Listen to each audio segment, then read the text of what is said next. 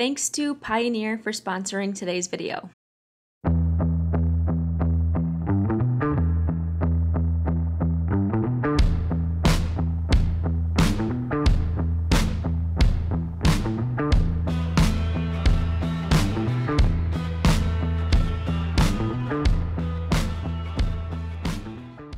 Hi everyone, welcome to my workshop. I'm in the process of turning this Tuff Shed into my dream workshop, but we are in the heat of summer down here in Florida and we need to get AC in here ASAP.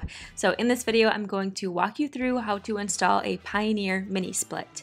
I want to preface this by saying I'm not a licensed electrician or HVAC specialist. My husband and I are installing this ourselves for the first time, so this video is based off how to install a mini split from a DIYer perspective. I actually have two different units here. This one that we installed in the workshop is part of Pioneer's Diamante series, but Pioneer was great enough to sponsor this video and send us an upgraded model, which is the Pioneer Quantum Series Inverter Plus, and I recommend this model over the one we installed. It's very similar in price. Installation instructions are basically the same, but this one has more features which I will go over shortly. We are converting our garage later this year, so we plan to install this unit in the converted garage space coming up. The Pioneer Quantum Series Inverter Plus that I'm unboxing here has some great features, one being high energy efficiency.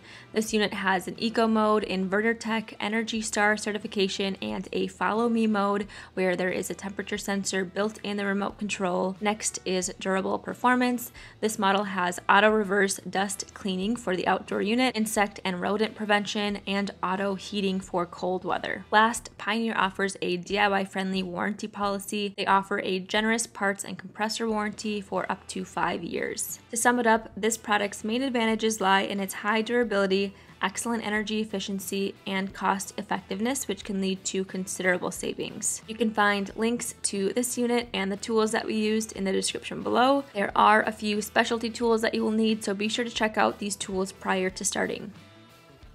Before we begin, I want to touch on the very first step, which is electrical. We sent the unit specifications to our electrician and he pre-wired everything for us. Let's install this mini split. We are starting with the indoor unit. On the back of the indoor unit, you'll find the mounting plate, which you'll want to remove. We planned the location of this unit before hanging drywall, so we were able to add some blocking for the mini split. With this blocking in place, we were able to secure the mounting plate right into the blocking. If you don't have any blocking, drywall anchors are provided. Be sure to take into account the minimum clearance requirements found in your instruction manual. Secure the bracket nice and level.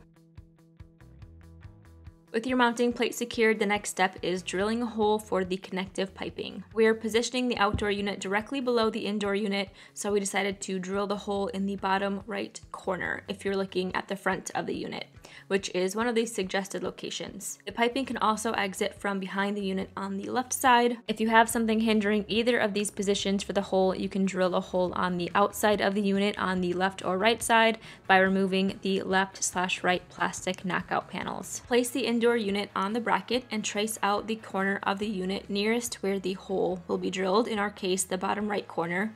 This is to verify the location of the hole that you will be drilling. We used a two and a half inch hole saw bit to drill the hole.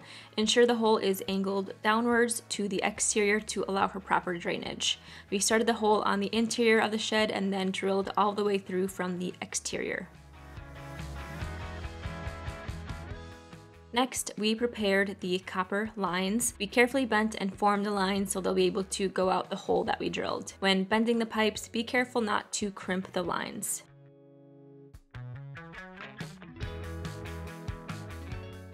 Now it's time to make the electrical connections. Make sure to follow the diagram on the front of the unit. You can match number to number or reference the diagram to connect the cables.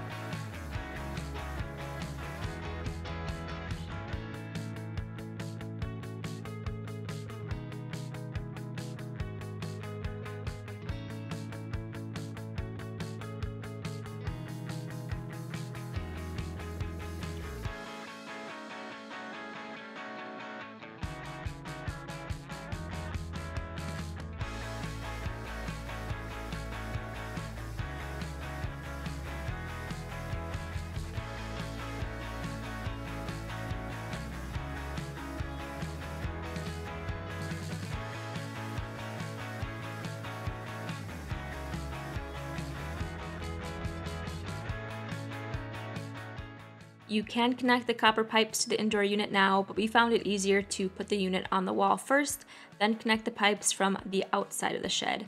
This way we only had to thread about one foot of pipe through the two and a half inch hole rather than 16 feet of pipe. Carefully lift the unit in place and run the pipes, cable, and drain hose out through the hole, and then push on the lower part of the unit so it clicks into the mounting plate. Before mounting the indoor unit, it's a good idea to wrap the lines with the insulated material provided and tape so they stay in a tight bundle.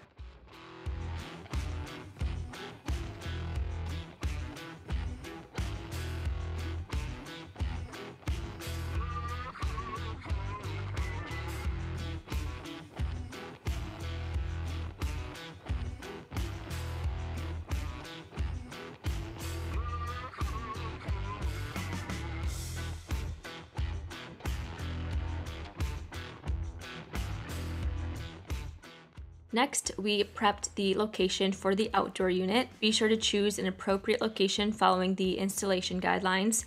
We cleared the gravel and leveled the ground so we could set two large pavers down as our base.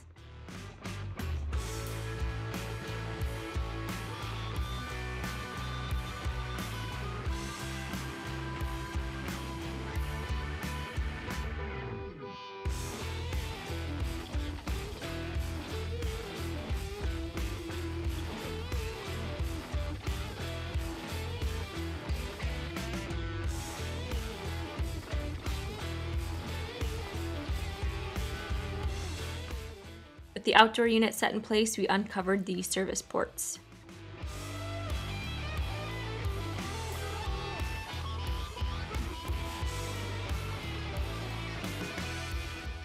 We carefully unrolled the copper pipe. It's important to unwind the pipe gently rather than pull from both ends. Once unwound, bring the ends of the copper line and the end of the indoor unit line together. Remove the indoor unit piping cap. You may hear some nitrogen gas escape. Our kit came with a package of flare gaskets and leak sealant. Use the leak sealant on the flares of the piping and attach the flare gasket. Tighten as much as possible by hand. Use the torque guide provided to tighten to specifications.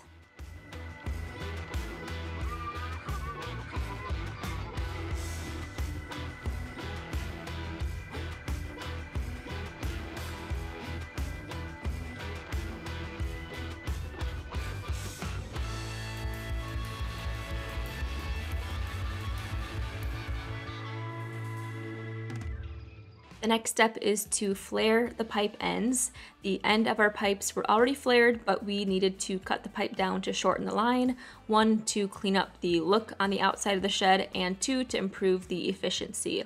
It's not recommended to leave extra pipe coiled. For this step, you'll need a copper pipe cutter, flaring tool, reamer, and some sealant. When cutting the copper pipe, be sure not to crimp the tube. Turn the knob on the cutter about a quarter turn every few rotations until the cut is complete. Make sure your cut is at 90 degrees.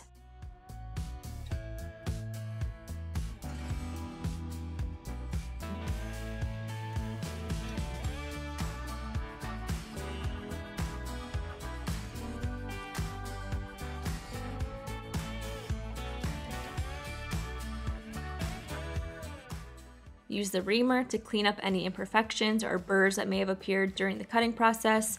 Hold the pipe downward to prevent burrs from falling into the pipe.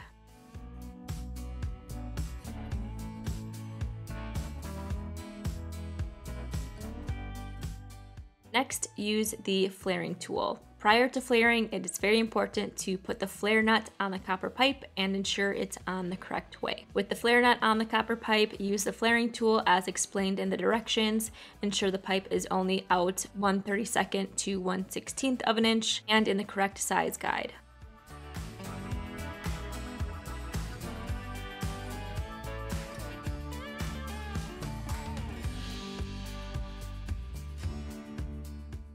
Once all lined up, you can flare the pipe.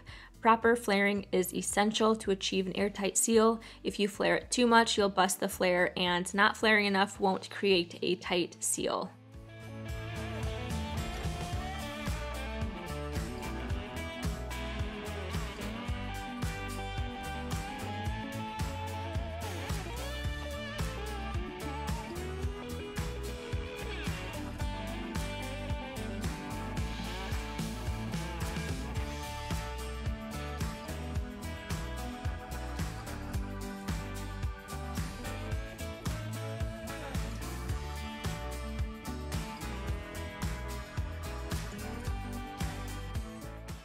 With the pipe flared, it's time to connect the pipes to the outdoor unit.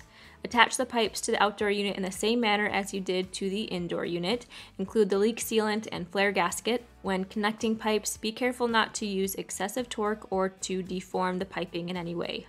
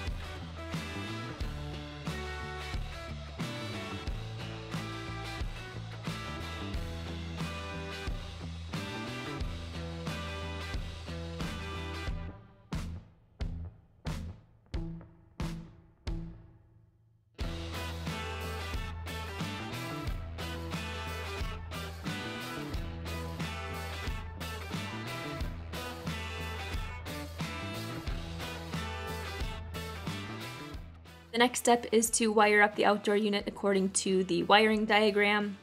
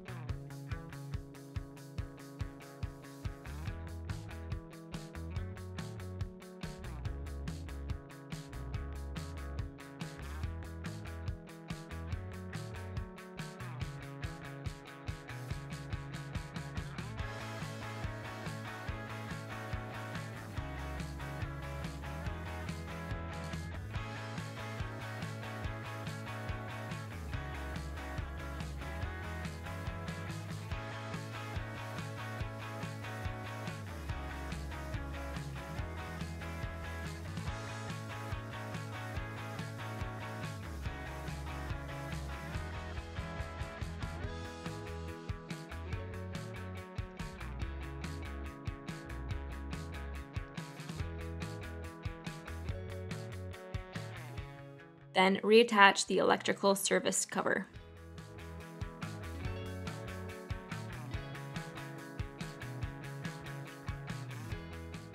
The next step is air evacuation and bleeding the circuit. To do this, you will need a vacuum pump and manifold gauge, as well as a 5 16 adapter to connect to the outdoor unit. You can find these linked below. Hook up the pump as shown in the video, connect the blue hose of the manifold gauge to the service port on the outdoor unit's three-way valve using the 5 16 adapter.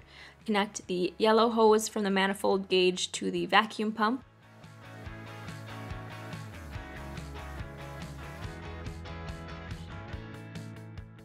Once hooked up correctly as shown, open the blue valve first, then turn the pump on.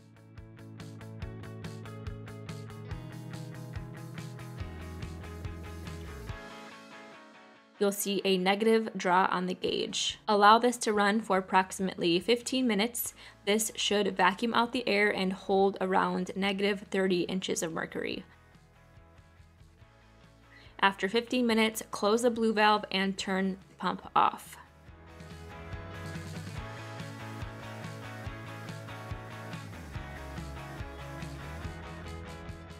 Let sit for another 15 minutes or so. The needle should not move, meaning there are no leaks. If there is a rise in the system vacuum, it means there is a leak. Refer to the instruction manual for troubleshooting.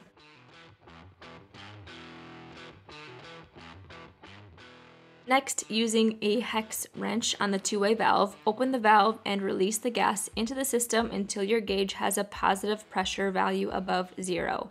Then close the valve after about five seconds.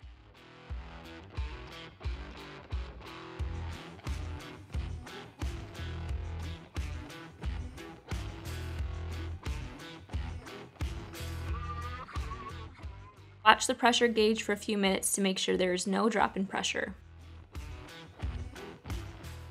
If there is no drop in pressure, release the rest of the gas into the system by turning the hex wrench a quarter inch clockwise turn at a time until fully open.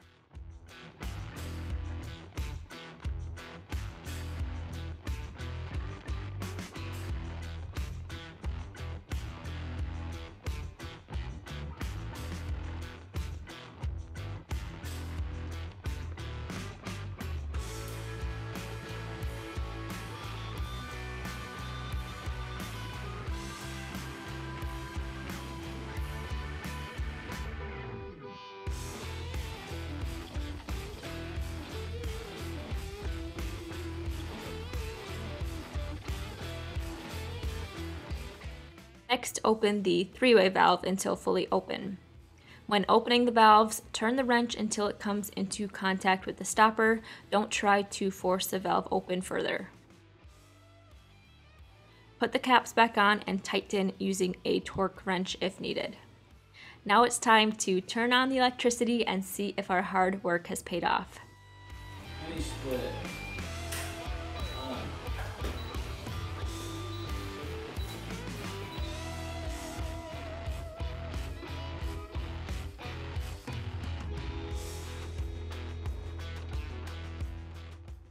The unit is successfully running, so now we can cover these lines.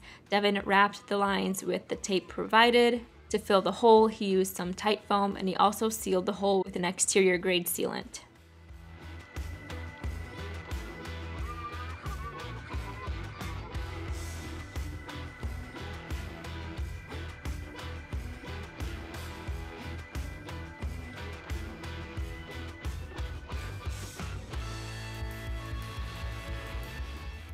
Last, he installed this decorative line cover, which hid everything really nice. You can find this kit linked below.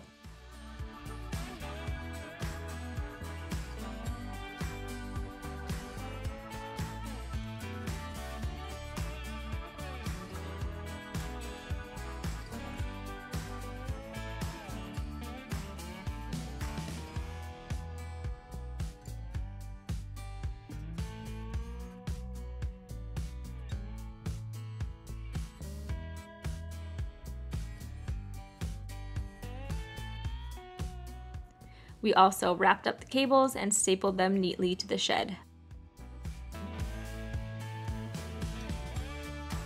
The workshop is air conditioned and we learned a new skill. It would have cost us about $900 to have someone install this unit for us, but we were able to successfully do it ourselves.